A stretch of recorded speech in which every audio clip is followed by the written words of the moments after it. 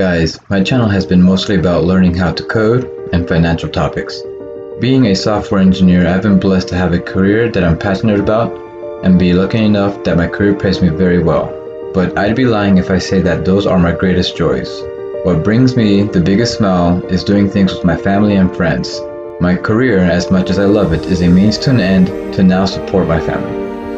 And what I mean to say is that we all have to choose to work hard, but also take time off and spend it with our loved ones.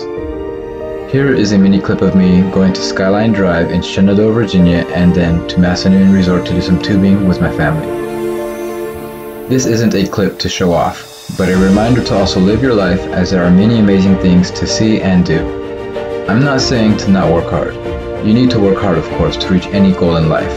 This includes working on your own careers or if you're an entrepreneur or any other thing. But don't forget to take a break from that and do something fun, whatever that may be. I can guarantee you that when we're all old, we will all think most about time spent with the ones we care about. So do your best in life, guys. You deserve it, and the ones you care for deserve it. Until next time.